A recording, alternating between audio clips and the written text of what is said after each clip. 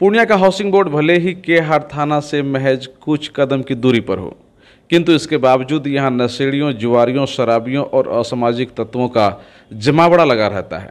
और साधारण व्यक्ति छिनतई, चोरी और पिटाई के शिकार होते रहते हैं, किंतु पुलिस इसके बावजूद भी वैसे असामाजिक तत्वों पर कुछ नहीं कर पा रही है, जिससे असामाजिक तत्वों का मनोबल लगातार बढ़ता ही जा रहा है। आलम यह है कि सभी लोगों, महिलाओं, बच्चों का घरों से बाहर निकलना भी मुश्किल हो रहा है। छिनतई करने वालों का तांडव ऐसा है कि अगर वो छिनतई करने में असफल होता है तो पिटाई करने पर भी उतारू हो जाता है। उसी का शिकार स्थानीय ब्रजेश कुमार सिंह हो गए।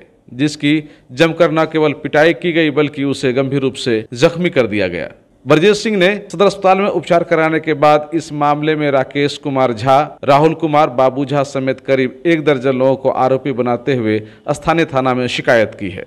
ब्रजेश सिंह की पिटाई से समाज के कई लोग दुखी दिखे और समाज के लोगों ने कहा कि एस मेकर्स का तांडव हाउसिंग बोर्ड में चरम पर है, जिससे अच्छे घरों के बच्चे भी प्रभावित हो रहे हैं। और पुलिस थाना बगल में रहने के बावजूद भी असामाजिक तत्वों पर कोई ठोस कार्रवाई नहीं हो पा रही है। ये हाउसिंग बोर्ड का राकेश झा उर्फ़ मुंचुन झा है। उसके साथ राहुल है उसका घर है मौलवी टोला चौक। ठीक है? और उसके साथ एक राजेश था। और सब नया नया कौन कौन लड़का था बहुत कुछ पहचान क्यों मरा आपको? मतलब कुछ कारण होगा ना मेरे भतीजा के साथ दस दिन पूर्व मोबाइल छीनने का प्रयास किया गया जिसमें वो सफल रहा ठीक है? तो उसी के खुन्नस से फिर जो है दोबारा ये बगल में ही मेरा भतीजा उधर से आ रहा था उधर से तीन चार लड़का मिलके घेर लिया उसके बाद और लड़का आया जिसमें हमको फ़ोन किया गया था हम तुरंत हम कोसी खोलने वहाँ से जैसे ही आए आने के बाद देखते हैं कि भीड़ भड़का छीना था तो बीच बचाव में जब गए तो बीच बचाव में जाने के बाद जो है वो जो है मुंचुन और बाबू झा ये सब जो है वार कर दिया। पिस्टल के बट पिस्टल था कि क्या था सिक्सर सिलेंडर सदर अस्पताल पूर्णिया में ट्रीटमेंट करवाया वो सब और धागा तागा भी क्या? वो सब मतलब किस टाइप का व्यक्ति है मतलब? आपराधिक छवि का है। पूर्व में भी उन लोगों का जो है केहर थाना में मामला दर्ज है। बहुत सारा।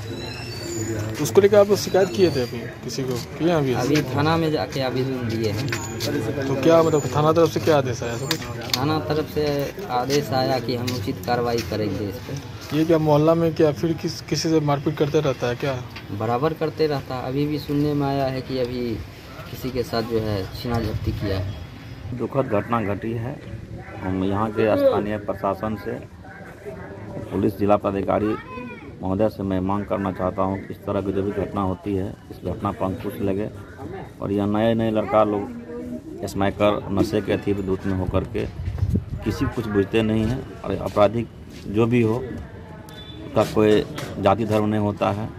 मैं माननीय एसपी साहब से मांग करना चाहता हूँ कि इस तरह की घटना को अंकुश लगाएँ और कड़ी करिश जा दें और यह ब्रजेश सिंह हमारे युवा जदयू के महानगर के सेक्टर अध्यक्ष हैं। मैं इससे भी बहुत दुखी हूँ कि इस तरह इनके साथ घटना हुआ है जो मैं बहुत दुखी हूँ। और यहाँ के ये थाना अध्यक्ष से भी मैंने बात किया, बोला कि करिश कड़ी कार्रवाई करेंगे।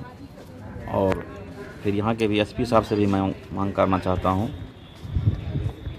कि इनके साथ घटना हुई है घटना में स्थानीय स्तर पर जाँच कर, अपराध इसमें, इस घटना में जो भी लोग संलिप्त है, या जिस जाति धर्म से उससे मुझे मतलब नहीं है। उनको कड़ी से कड़ी सजा दिलाएँ बिहार राज्य आवास बोर्ड जब से इसका गठन हुआ 94 में, तब से आए दिन आज तक, ये अपराधियों का जमा रहा है। हर तरह के तबके के अपराधी यहाँ आके शरण लेते हैं। और आज के आजकल में यहाँ बहुत सारे लोग स्मैक का धंधा के कारण सारे बच्चे बर्बाद हो रहे हैं। ये नहीं कि अच्छे बच्चे भी उसमें जाकर के सम्मिलित होते हैं और अपने आप को नहीं भूल जाते हैं कि हमारा ये भी गार्जियन है। हम प्रशासन से ये अपील करते हैं कि इस तरह के जो भी चीज़ें हैं इस पर पाबंदी लगाना आवश्यक है क्योंकि हम लोग मोहल्ला में रहते हैं हमारा बाल बच्चा मोहल्ला में रहता है उस पर निगरानी हम लोग नहीं कर पाते हैं। जिस कारण परेशानी होता है। आज मान लीजिए किसी बच्चे को यदि मार लग जाती है गार्जियन किसी का भी हो, चाहे वो किसी का भी बच्चा हो, यदि ऐसा होता है तो मोहल्ले में बहुत ज़्यादा अच्छा नहीं है। और हम प्रशासन से ये आग्रह करते हैं इस पर ज़्यादा से ज़्यादा अंकुश लगाया जाए, ताकि इस घटना की पुनरावृत्ति फिर कभी किसी के साथ ना हो। लेकर के हम लोग एसपी साहब से खुद पर्सनली मिलेंगे। मांग रखेंगे। ये जो लड़के हैं जो आज ब्रजेश कुमार सिंह के साथ ये घटना किया है। ये लोग आए दिन मोबाइल छिनतई मोबाइल छिनतई और गाड़ी चोरी, चैन चैन खींचने वाला काम, ये सब अक्सर करते हैं। और गाजा और सिरप, ये सब का भी धंधा ये लोग करते हैं। ये लोग आठ दस लड़का का टीम है। इन लोगों का काम ही ऐसा है और पूरे हमारे हाउसिंग बोर्ड को जो है बदनाम करके रख दिया है।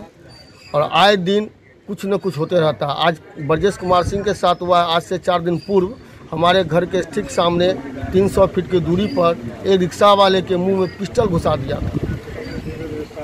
आप लोग थाना को सूचना क्यों नहीं देते? हम लोग थाना को सूचना देते हैं थाना को भी जानकारी है थाना थाना लेकिन उस पर कोई अंकुश न लगा क्या लगता है?